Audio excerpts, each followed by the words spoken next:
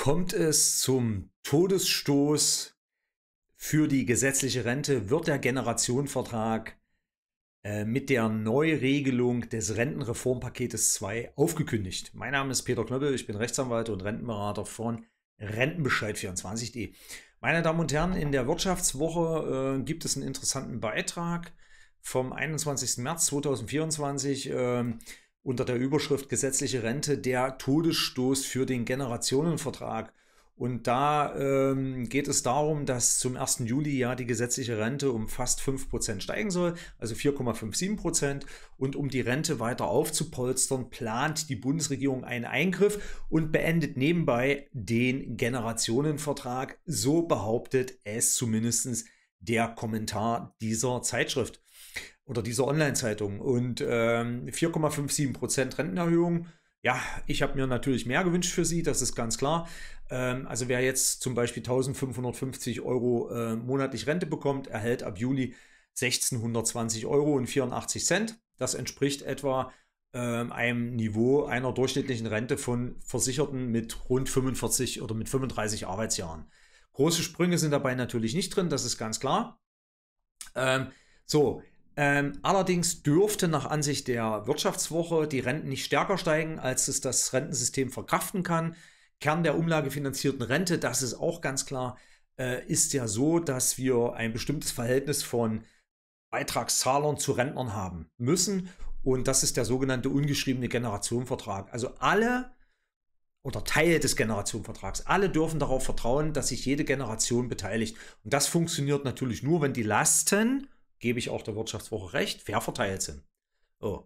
Ja, und jetzt kommen wir natürlich äh, trefflich äh, uns streiten. Seit den 70er Jahren des letzten Jahrhunderts, also äh, im Jahr ähm, praktisch im, im 19. Jahrhundert oder 20. Jahrhundert vom, vom letzten Jahrhundert, ähm, war ja ganz klar, dass wir ein Demografieproblem bekommen.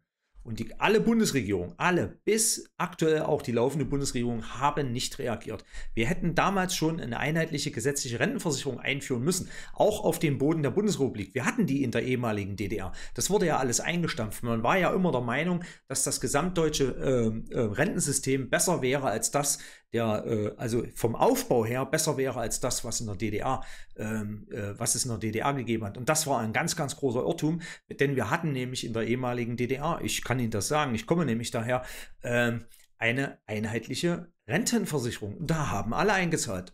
Natürlich waren die Renten nicht so hoch wie jetzt, das ist klar. Und das Gesamtsystem äh, war ja nun auch nicht gerade lustig, aber trotzdem, wir hatten eine einheitliche Rente.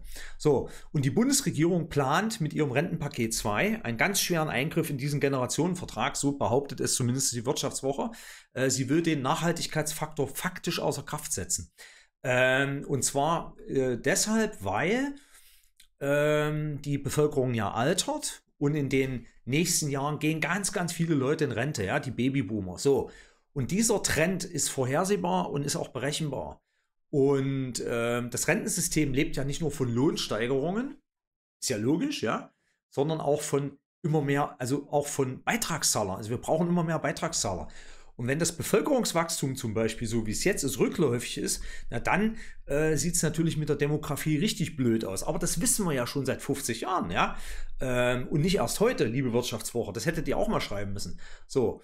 Und äh, verschlechtert sich das Verhältnis der Beitragszahler zur Rente, steigt natürlich die Rente weniger. Das heißt also, die Einkommensentwicklung der Beitragszahler äh, wird dann sozusagen runtergerechnet um den Nachhaltigkeitsfaktor. Und für das Jahr 2024, die Rentenerhöhung, hatten wir ja äh, einen Abzug der an sich höheren Rentenerhöhung um 0,16 Entgeltpunkte. So, und jetzt macht natürlich die Bundesregierung Folgendes, die sagt, wenn der Nachhaltigkeitsfaktor so groß steigt, dass wir ein Rentenniveau erreichen, welches unter 48 Prozent liegt, wird das Rentenniveau automatisch auf die 48 Prozent angehoben. So ist es im Rentenreformpaket faktisch geplant. Das heißt also, ähm, dieses Rentenniveau setzt die Rente nach 45 Arbeitsjahren beim allgemeinen Durchschnittseinkommen ins Verhältnis zum allgemein aktuellen Durchschnittsverdienst. Und dieses Rentenniveau ist festgeschrieben auf 48 Prozent. Und wenn das Rentenniveau unter 48 Prozent sinkt, ähm, wird de facto ähm, die Rentenerhöhung trotzdem höher gesetzt, als es an sich sein dürfte.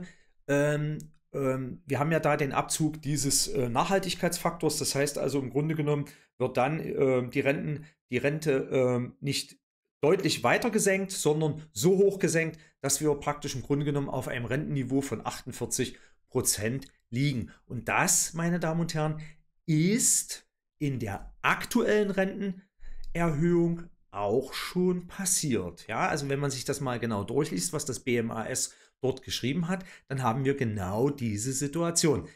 Also, meine Damen und Herren, ich würde es mal nicht ganz so drastisch sehen wie die Wirtschaftswoche, dass es hier einen Todesstoß gibt für die Rentenversicherung oder dass es einen Todesstoß gibt für den Generationenvertrag. Aber es ist natürlich ein Riesenproblem und das können wir letzten Endes nur lösen, indem wir eine einheitliche gesetzliche Rentenversicherung schaffen, wo alle einzahlen und ähm, ja, es wird wohl so sein, dass auch das möglicherweise schon nicht mehr ausreicht, um die Probleme, äh, die jetzt auftreten, noch lösen zu können.